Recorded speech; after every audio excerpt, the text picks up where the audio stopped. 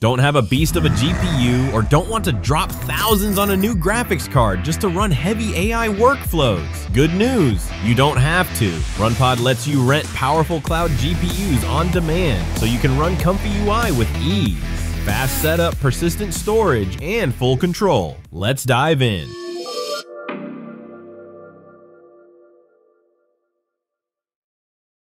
Alright, let's get this thing running. Oh, yeah. First up, you'll need a RunPod account and a little cash to fuel your AI dreams. Don't worry, it's way cheaper than a new graphics card. To start your Comfy UI journey, head over to RunPod and create an account. It only takes a minute. Once you're in, top up your balance from the billing tab. $10 is a solid starting point and should cover your GPU time and storage so you don't get interrupted mid-project. As always, the RunPod link is in the description, along with all the other tools and models mentioned in this video. And if you'd rather read or follow along step by step, there's a full written guide on our website, also linked below. Next up, creating a network volume. Comfy UI workflows often involve large model files and custom node setups, which can be tedious to re-download or reconfigure each time. This is where RunPod's network volumes come in. A network volume is persistent cloud storage that connects to your GPU pods. It allows you to retain your Comfy UI installation, downloaded models, extensions, and custom workflows even after your pod has been terminated. To create one, log into your RunPod dashboard and head to the storage section. Click on New Network Volume to begin.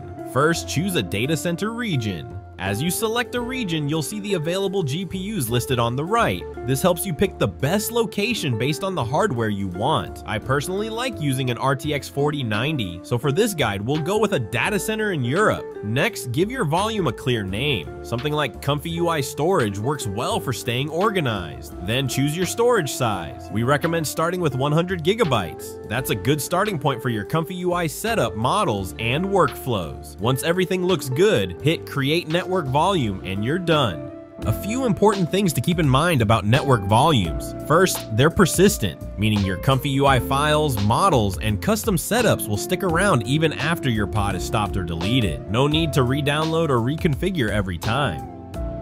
Pricing wise, they cost about $7 a month for 100 gigabytes. Pretty reasonable for the convenience. Just note that volumes are region specific, so if you switch to a different GPU region later, you'll have to manually move your data. And finally, volume sizes can only go up. You can increase them later, but you can't shrink them. That's why it's smart to start with something like 50 to 100 gigs and expand as needed. Alright, now that your network volume is good to go, it's time for the fun part deploying your first GPU pod using the Next Diffusion Comfy UI template. This template takes care of installing both Comfy UI and Comfy UI Manager directly onto your network volume, making everything persistent, organized, and ready to roll whenever you launch a pod. Let's walk through the setup. First, head over to the storage section in the left sidebar of your RunPod dashboard. You should now see your shiny new volume listed there. Something like Comfy UI Storage, 100 gig. If it doesn't show up right away, give the page a quick refresh. Next, click the deploy button next to your volume. This will take you directly to the pod section with your volume already pre-selected in the nav bar and you're automatically placed in the secure cloud zone. Quick heads up,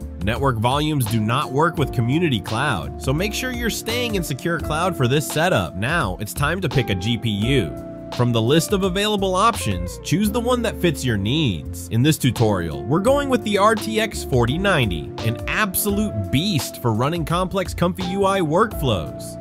But here's a quick pro tip. If you just want to install Comfy UI and Comfy UI Manager onto your volume, which can take some time, you can save a few bucks by starting with a cheaper GPU just for the initial setup. That said, we're going all in with the 4090 today. Now comes the most important step, choosing the right template. Click Change Template and look for Next Diffusion, Comfy UI in the list. If you don't see it right away, don't worry. We've got a direct link in the description that will auto-select the correct template for you. Once selected, this template will automatically install both Comfy UI and the manager directly onto your persistent volume, making future launches much faster and way less painful. Now for the final tweaks, leave the GPU count set to 1 and for the pricing type select on demand. At the time of this recording, that's about 69 cents an hour for an RTX 4090. Pretty solid value for serious AI generation. Once you're happy with everything, scroll down and hit deploy on demand. Boom, your pod is now spinning up and you'll be redirected to the My Pods tab where you can track everything in real time.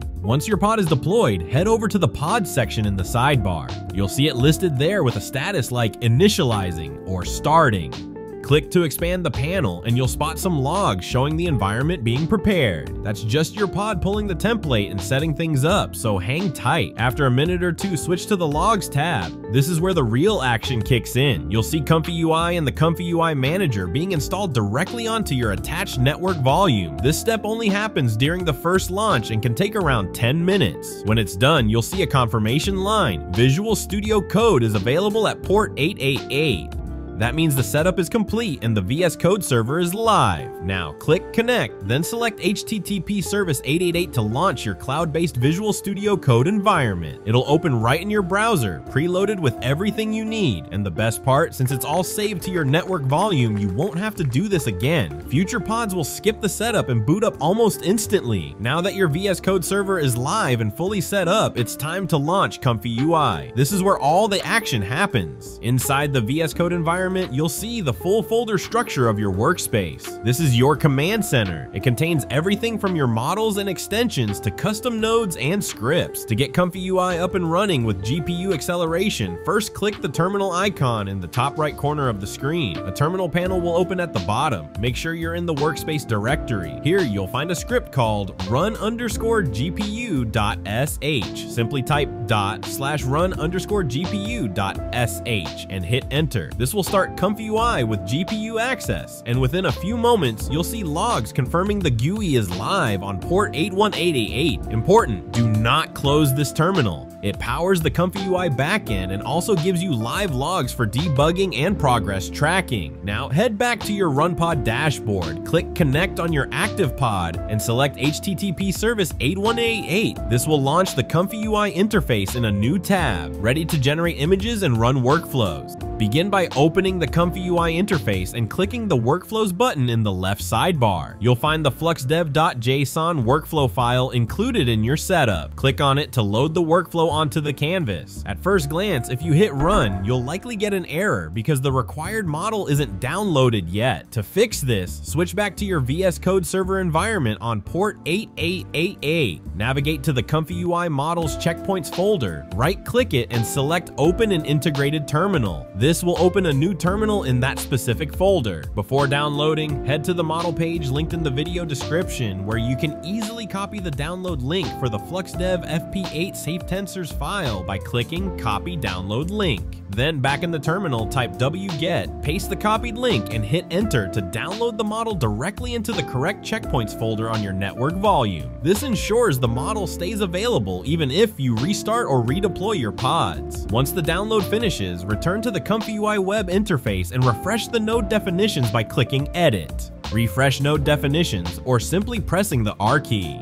This refresh ensures the newly downloaded model appears in the Checkpoint Loader drop-down menu. Now select Flux One Dev FP8 Safe Tensors in that node, then click Run. The first generation may take a minute or so as the model caches into memory, but subsequent runs will be much quicker, and just like that, you've generated your first image inside your very own cloud-hosted Comfy UI environment, ready to explore even more creative possibilities. Once you're done generating images, it's smart to shut down your pod to avoid ongoing hourly charges. Just head back to your RunPod dashboard and hit the Terminate button on your active pod. This immediately stops the instance and you're no longer billed per hour. The best part, everything you set up, Comfy UI, your models, workflows, and outputs is safely stored on your persistent network volume. So now let's relaunch a pod to see just how fast things boot up with the setup already in place. Go to the storage section, find your volume, and click deploy. Choose your GPU again. We're sticking with the RTX 4090 and make sure the next diffusion Comfy UI template is selected. Scroll down and hit the deploy on demand button. In the pod section, open the logs. This time you'll notice it's only pulling the template, but inside the logs itself, there's nothing to install. Everything's already on the network volume